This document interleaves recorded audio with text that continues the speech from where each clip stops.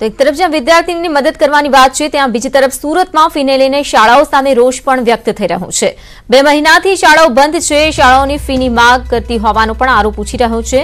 FRC અને સરકારને રજૂઆત કરવામાં આવી છે. અનેક રજૂઆત બાદ નિરાકરણ નથી આવી રહ્યું, જેથી રોષ વ્યક્ત થઈ રહ્યો છે.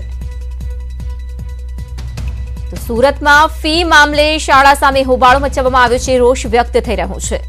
આ અંગે વધુ માહિતી આપશે સંવાદદાતા કીર્તેશ પટેલ. કીર્તેશ, શાળાઓ જે ફીને લઈને મનમાની કરતા હોય તેવી વિગતો સામે આવી રહી છે. શું હકીકત? શું કહી રહ્યા છે વાલીઓ? બિલકુલ. જે રીતે કોરોના વાયરસનું લઈને લોકડાઉન ખુલ્યું છે, તેને લઈને હવે શાળા સંચાલકો વાલીઓ પર ફીને મુદ્દે પ્રેશર બનાવી રહ્યા છે. કશે ને કશે દરરોજ સુરતની અલગ અલગ શાળાઓમાં, નવું ટકા શાળાઓમાં ફીને લઈને વાલીઓ પર પ્રેશર બનાવવામાં આવે છે. ત્યારે કેટલાક વાલીઓ આપણે સાથે જોડાય છે. આપણે સીધા એમની સાથે વાત કરીશું. શું કેવું છે? સૌપ્રથમ આપનું નામ? ઉમેશ પંચાલ વાલી મંડળથી.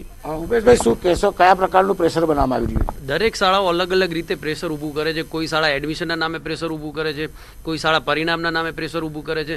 અને છેલ્લે અંતે કંઈ ન વધે તો ઓનલાઈન ક્લાસીસ જે શાળા બંધ છે છતાં પણ ઓનલાઈન ક્લાસીસના નામે નવા નવા પ્રેશર ઊભા કરે છે. અને નવું તો એ છે કે સરકારે એ લોકોને છૂટ આપી છે કે તમે સપ્ટેમ્બર સુધી ફી ના માંગો. અને કંઈ પણ ફરિયાદ હોય તો તમે અમને કરો. છતાં પણ ફરિયાદ કરવામાં આવતી છે? આપનું નામ? અલ્તાફ રંગવાળા વાલી મંદિર શું કહેશો ફરિયાદ કરવામાં આવે છે? હવે ફરિયાદ તો થાય જ છે પણ ઉપર સુધી પહોંચતી નથી. પહેલાં તો સરકારને જ પ્રશ્ન છે કે એકથી આઠ ધોરણના બાળકોને ઓનલાઈન શિક્ષણની છૂટ શા માટે આપી? કારણ કે પહેલો પ્રશ્ન છે કે આપણે બાળકોને મોબાઈલથી દૂર રાખીએ છીએ. અને મોબાઈલ ચાર પાંચ કલાક સુધી બેસી રહે બાળક તેની માનસિક અને શારીરિક સ્થિતિ પર ખરાબ અસર તો થવાની જ છે. અને બીજું આ ઓનલાઈન શિક્ષણથી એક બહાનું લઈને એ લોકોએ ફી ઉઘરાવી દે ત્રણ મહિનાની સિસ્ટમને લઈને. ફી ઉઘરાવવાનું ચાલુ કર્યું છે. આપણે અન્ય વાલી છે એની સાથે વાત કરીશું આપનું નામ? ચિરાગ ઠક્કર છે પેરેન્ટ્સ એસોસિએશન શું કહેશો?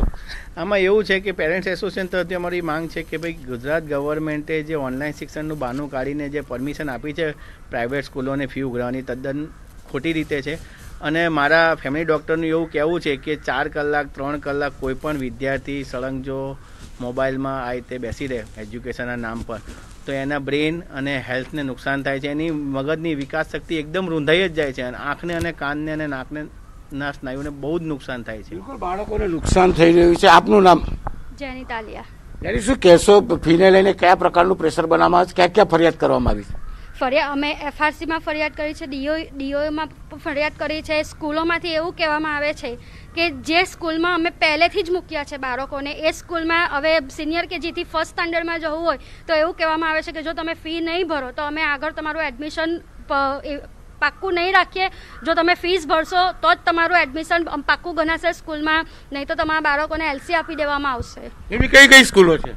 સુરતની ઘણી બધી સ્કૂલો છે એવી જેવી કે સાડા યતન છે એલપી સવાની છે ડીપીએસ છે બધી બહુ બધી સ્કૂલો છે જ્યાં જુદી જુદી રીતે બધા માંગ કરવામાં આવે છે અને જુદી જુદી રીતે પેરેન્ટ્સોને હેરાન કરવામાં આવે છે. બિલકુલ પેરેન્ટ્સોને હેરાન કરવામાં આવે છે. આપનું નામ? ધવલ મહેતા. ધવલભાઈ શું કહેશો? ફરિયાદો કરવામાં આવી છે. તમામ જગ્યા પર શું નિરાકરણ? નિરાકરણ તો કંઈ લાગતું નથી. જે નિર્ણય સરકારે લેવા જોઈએ એ સરકાર નિર્ણય લેતી જ નથી ને બધા નિર્ણય પ્રાઇવેટ સ્કૂલો તરફી લે છે. જે દર્શાવે છે સરકારની દાનત જ નથી.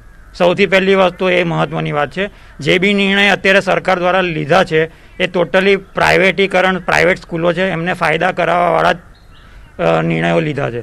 હવે એજ્યુકેશન ઓનલાઈન તમે કરો, તો સ્કૂલે છોકરાઓ સ્કૂલમાં એટલા નથી ભણતા, તો ઓનલાઈનમાં એજ્યુકેશનમાં કેવી રીતના ભણી લેશે?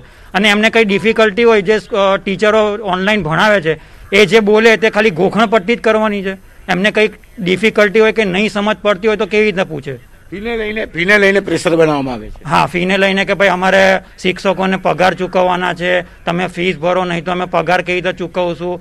ગમે તે રીતે બ્લેકમેલ કરવામાં આવે છે. અમારો ક્વેશ્ચન એક જ છે કે જ્યારે અમને તકલીફ હતી અમારે ધંધા પાણી બંધ હતા તો એનું ભુગતાન કઈ સ્કૂલવાળાએ કર્યું હતું કે અમે સ્કૂલવાળાને લઈને અમે ભુગતાન કરીએ? એ એમની જવાબદારી વાલીઓમાં રોજ જોવા મળ્યો છે. કશે ને કશે કોઈને કોઈ કારણે ફીને લઈને વાલીઓ પર પ્રેશર બનાવવામાં આવી રહ્યું છે ને ખાસ કરીને ઓનલાઈન સિસ્ટમના શિક્ષણના નામે જે રીતે તેમને બાળકોને ભણાવવાના નામે ફી માંગવામાં આવી રીતે સતત સુરતમાં ફીને લઈને જે પ્રેશર બનતું છે તેને લઈને વાલીઓ દ્વારા વિરોધ કરવામાં આવે છે. અલગ અલગ જગ્યાઓ પર ફરિયાદો કરવામાં આવી છે તે પછી એફઆરસી હોય જિલ્લા શિક્ષણ અધિકારી હોય કે સરકારમાં પણ કોઈ સુનવાઈ નથી થતી તેને લઈને વાલીઓમાં હવે રોજ જોવા મળી રહ્યો છે. બિલકુલથી તો શાળાની મનમાની ફી મામલે અને ઓનલાઈન શિક્ષણ મામલે વિરોધ દર્શાવી રહ્યા છે વાલીઓ. તમામ વિગતો બદલ આભાર કીર્તિશ આપ